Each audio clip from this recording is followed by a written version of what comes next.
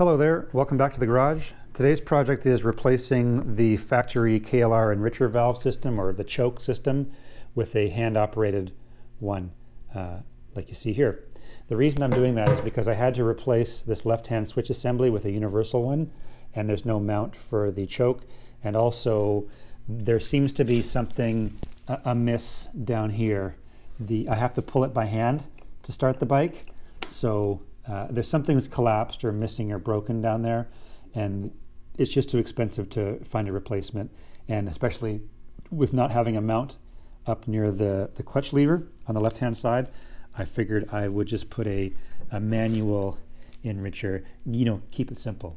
So I'm going to remove the tank and we'll remove the old uh, enricher assembly and we'll put in the new sort of universal one. I think I got it on Alibaba or Amazon. I think it was Alibaba. So the idea is that you, you just pull it out, you know, totally manual, and then you got to remember to push it back in, just like that. So uh, let's take the tank off and we'll dig in.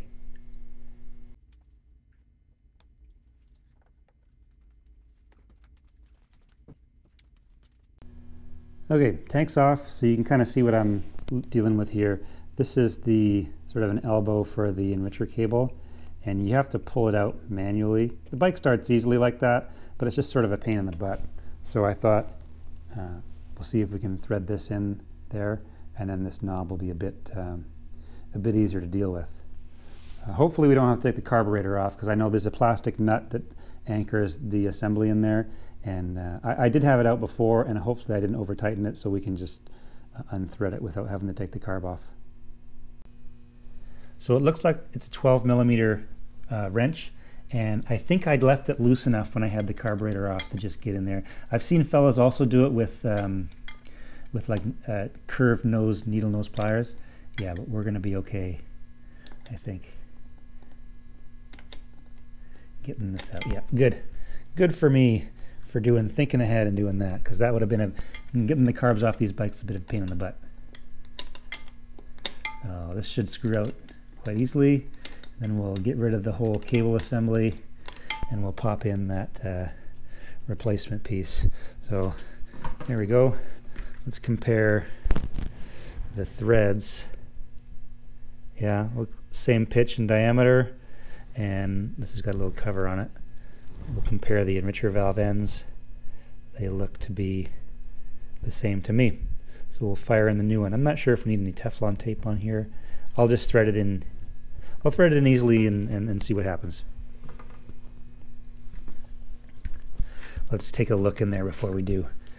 I'll get your light so you can see where it threads into the carburetor there. It's nice and clean. I think it looks like it just bottoms out in the hole, so I don't think we need any thread lock or, or uh, like Teflon tape or anything. Okay, let's give it a shot.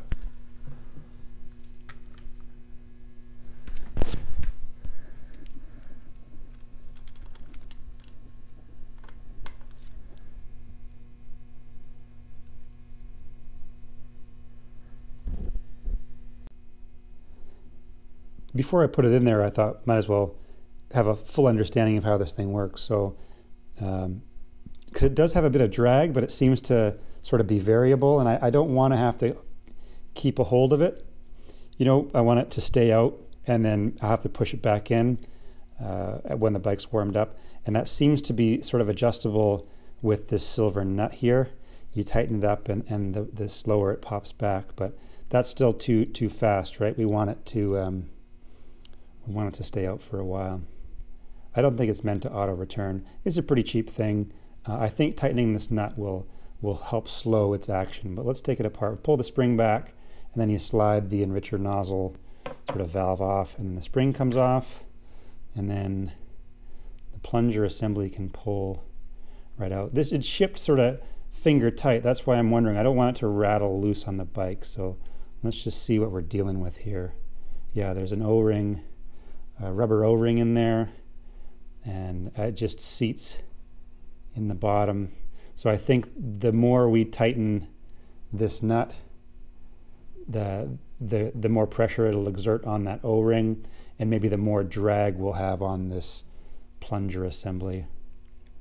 So we'll put it all back together and maybe I'll, I'll snug up this silver nut a bit more. Yeah. Yeah, it does increase the drag. I'll push it all the way down, fire the spring back in, and then that slides on like that. Let it go, and there we go. We're back to one piece.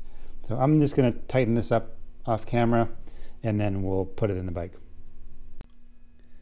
It's a 13 millimeter wrench on the body of this guy, so we'll thread it in now. Get the old one out of the way. We'll remove it later completely.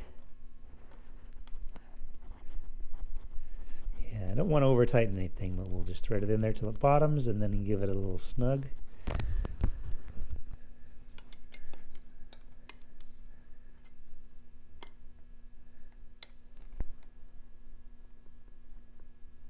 Probably good enough.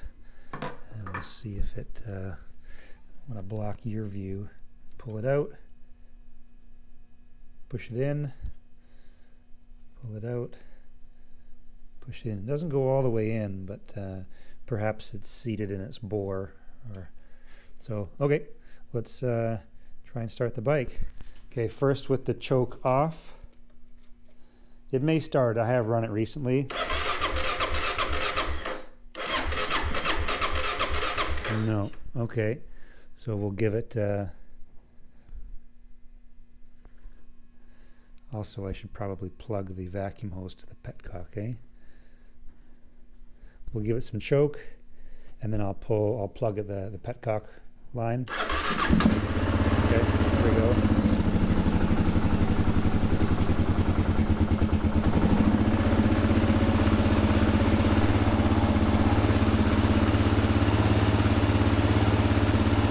It is kind of creeping back in on its own. I don't know if you can see that.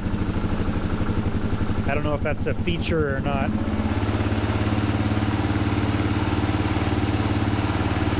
Let it run for a second, and then we'll see if we can get it to run off of choke. All right, that seems to do the job. And then I can strip it of the old uh, assembly, the old cable and stuff. Keep it simple. So, anyway, I hope you found it useful. Maybe I'll put the link to the uh, to the part that I found here uh, below. I think it was Alibaba. I think I said that already too. Anyway, I'll put the link down there. Hope you found this useful. Um, thanks for watching and uh, stay safe out there.